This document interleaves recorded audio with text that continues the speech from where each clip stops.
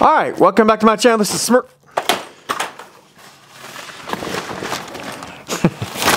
oh, let's start over. Okay, let's go. All right, guys, welcome back to my channel. Today we are going to be talking about Smurf Tube. Now, there's also other names for it: Blue Tube, Blue Hose. Looks like this right here. You get it at Lowe's, Home Depot, Ace Hardware, Supply House. List goes on and on, right? Your uh, grandpa's basement. Let's talk a little bit about using this, where you can use it, where you can. I'm not going to go super heavy into the code on this. There will be timestamps down below.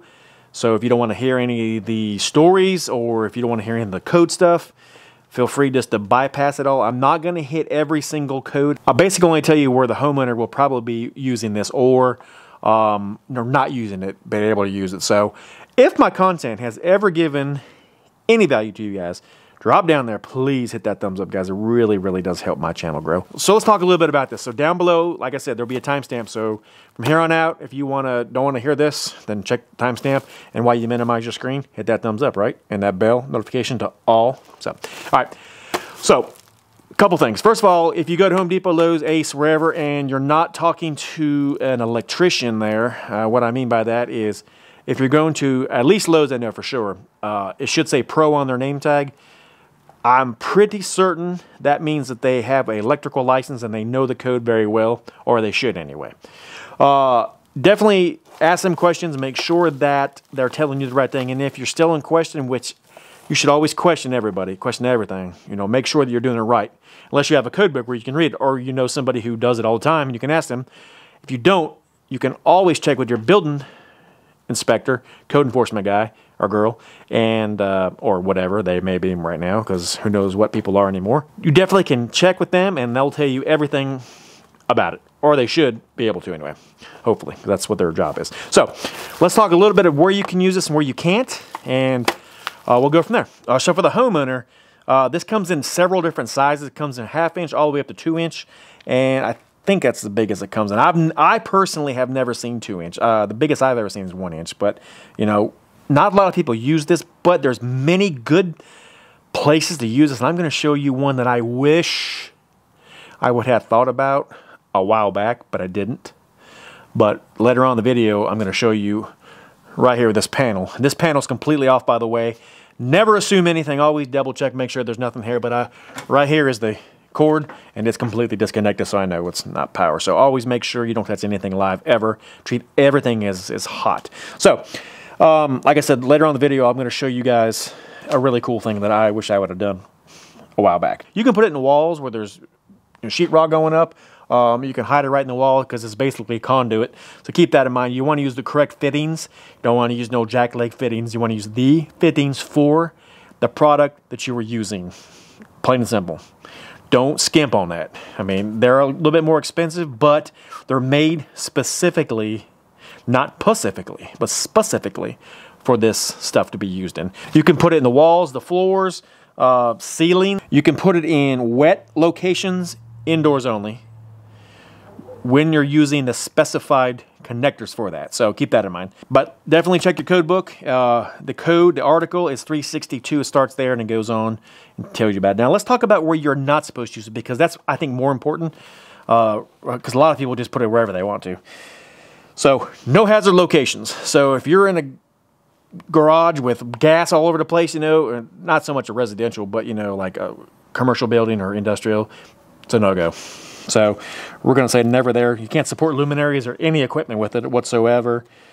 Uh, let's see where it's going to be subject to physical damage. So in a garage, we'll use a garage. Uh, if you're parking your car in a garage and you got it exposed on a wall, you know that to me is physical damage because your car can run right into it and damage it. So you definitely don't want to do that.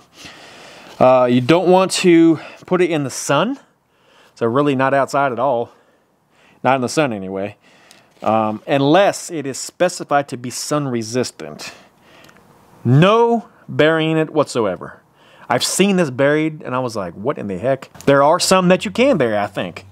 This one, the one I'm showing you, is a no-go. All right, so there's several ways to cut this. Obviously, uh, I have all the tools, or a lot of tools, that you can use with this. These are PVC cutters. Uh, with this stuff, uh, it's super easy to cut. So you really don't have to buy a super industrial pair. These are the Greenlee brand. I'll leave a link down below to the Greenlees. And also I would leave a link to a cheaper brand. I have both and I don't have the other ones here, but uh, both of them work because this stuff is, even though it's considered, you know, tough, it's still easy to cut through. You can use a knife. I'd wear gloves. Uh, hacksaw, bandsaw, portaband, whatever you want. The best way to do it is to take it, open your cutters up, put it right there in the grooves. So you just want to put it right here in the groove like that. And well, I got to get my hand here. And we'll just cut it. And it cuts super easy as you see. All right, now after you get it cut, there shouldn't be any sharp edges on here, but you just want to make sure that you know you can run a file or even a knife and just make sure that you score it and get all the sharp edges off here. You don't want to pull your wire through here and really muff it up because you have this little end that's cutting as you're pulling because that is not going to be good in the long run. So keep that in mind when you're using this stuff, all right? Always make sure that you clean your ends. That goes for you in the shower too. All right, here is your second chance to hit that thumbs up. So, all right, I'm gonna show you some of the fittings that you're supposed to use with this. Where am I?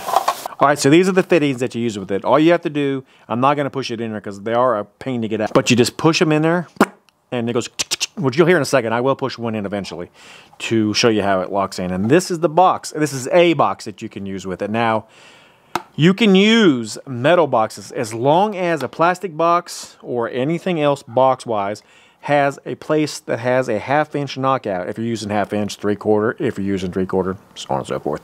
This one's a half inch, so we're gonna knock it out. I'm gonna show you. Not so much in this box, but I just wanna show you this is a box that you can use with it. It's super nice and easy to install. I mean, you can put your screws right there, bloop, right on the wall, and you walk away and you're done. So if you skip from a timestamp, I mentioned back then I was gonna show you how, or maybe something I was gonna tell you about this panel with the Smurf tube. Now, what happened was I wired a house a while back and there was so many Romexes coming in the bottom of a panel like this right here. They were extremely full.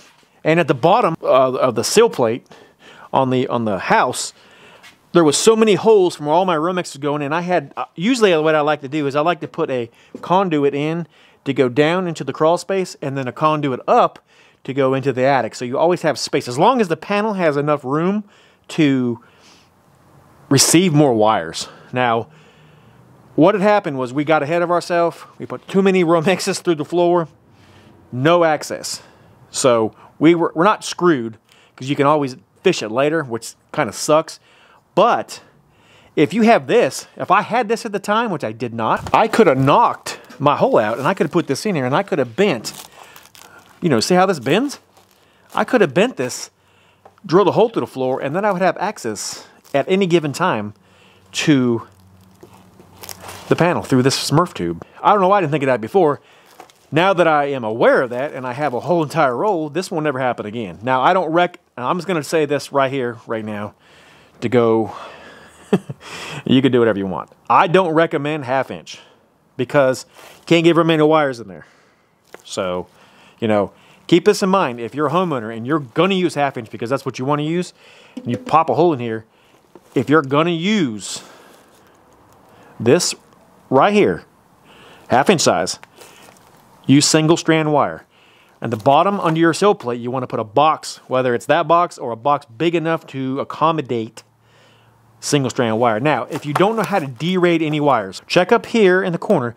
You're going to see a, a, a video of how to derate wires to know how many wires you get in here legally, safely, because that is super important that you make sure that you don't overfill this and heat it up, and then you, you're really in trouble. So I will also leave a link down below to a code book, like the one that I'm using, the 2020 code book. Be a link down below. If you decide to buy any of this products that I'm showing you guys today, it will only help my channel grow, and all the money goes always goes back to do these videos. Now, like I said, I'm to go ahead and knock a hole here. Actually, what we'll do is we'll do it on the top because I have a bunch of holes on top, which you probably hadn't seen. But if you have seen video on my sub panel, well, guess what? Right up in the corner, there's to be another video popping up. That's how to wire a sub panel. Super easy to do. If you're interested in wiring a sub panel or a panel in general, it's very informative. It has four or five videos on it, so you might want to check it out. All right. So what we're going to do is we're going to go ahead and we're going to use this panel. Now remember I mentioned it's completely off. Don't ever believe anybody. Always double check. It only takes a second to check. All right, so we're gonna do, we're gonna check together, and we're gonna make sure, even though I know it's off. All right, I did mention this is off. You always want to make sure you check on the live circuit to make sure that the, your tick tracer is working. All right, we'll double check here on this live circuit right here that I got hanging. See the red light?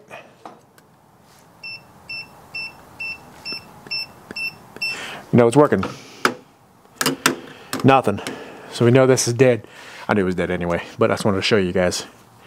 It only takes a second to get hurt and a lifetime to get over it, so remember that, guys. All right, so when you use a connector like this, you have to have a lock nut, so make sure that you get lock nuts for this. This is a half inch lock nut. This is a half inch connector. They made it perfectly. Just like that. So we're gonna go ahead and put this in the panel. I'm gonna show you how this thing pops in there. We're gonna end this video. All right, as you see, I have a bunch of holes up here knocked out. We're gonna go in this hole right here. You see how it just fits perfectly right in there. Come here on the bottom, and we will tighten this up. It's easy to do when there's nothing in there. It's good and tight right now. So we're gonna cut a piece of this Smurf tube and we're gonna put it in. All right, cutters, we're gonna cut it. Hopefully this won't hit the camera it goes down. Good, it didn't. All right, we're gonna take our Smurf tube. We are just going to push it straight down in here. Now watch how I do this. All right, so with the connector in, all we're gonna do is we're gonna take our Smurf tube and we're gonna push it in. Boom. It's seated, it's not coming out. with that with that whole lot of force, so it's definitely not coming out. And look what I just did. Good thing I was off, huh? I just broke my light. LED. and that's all there is to that. On the other end, you would put a box, do the same thing. Knock out a half inch hole, Put a lock nut on it, put another connector on there, walk away and you're done. Guys, in the code book is where you will find all your information, how many wires you can put in there, all right? You need to make sure that you follow that to the T. All right, if you don't know how to do that, definitely ask your building code enforcement guy or girl or whatever they may be. Who knows anymore, right? Like I mentioned. so you don't want to overfill it. You do not want to get yourself in trouble a long way down the road. Create a bunch of heat, and then you're really in trouble. All right, guys, listen. I'm going to end it right here. Links to everything will be down in my description. If you guys want to see what happens next, make sure you like and subscribe. God bless. And we'll see you in the next one. Have a great day. So this will be your finished product. All right, let's try it again.